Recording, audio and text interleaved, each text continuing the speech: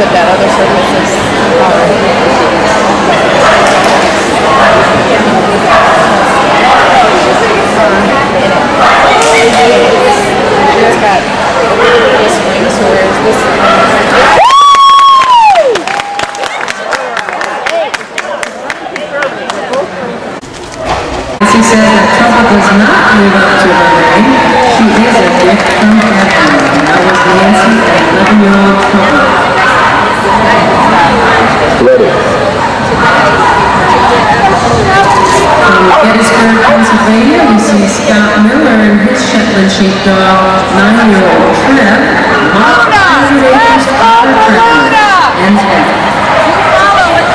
We see our judge put her hands up in the air anytime that we see Melody Sue with those hands in the air. That does mean that there has been a fault on we can fall down, maybe a missed contact, perhaps a missed beat, or, of course,